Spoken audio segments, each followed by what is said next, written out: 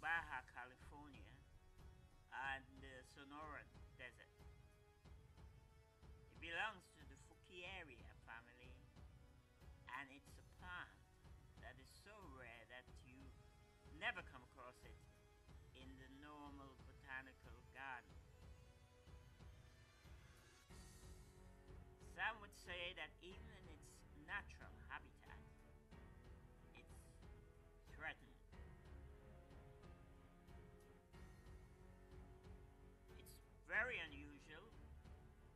just like most of the Fouquieria family, and worth seeing. If you get the chance, make sure you set up an appointment to see. Usually, it can be propagated from seeds,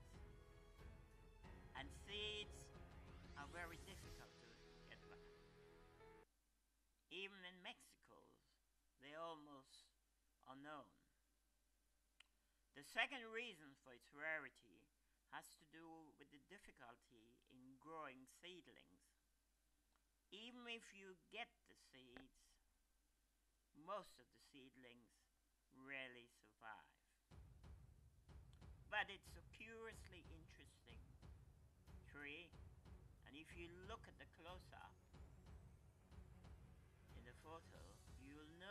that special Fouquieria tendency gray green trunk, spiny lateral branches And curiously very interesting. For a young plant to survive, it must be able to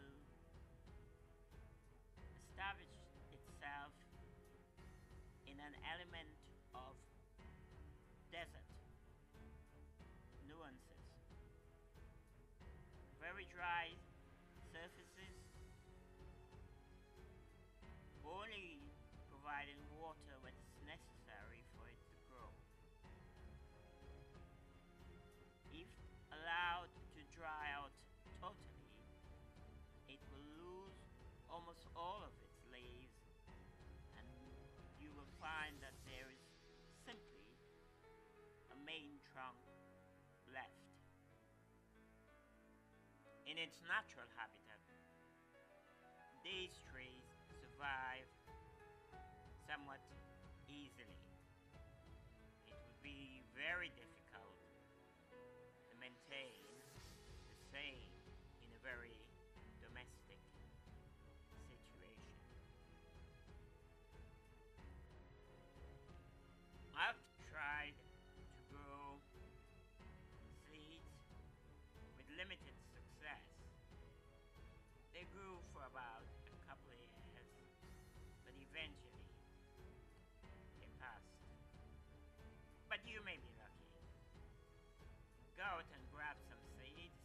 find them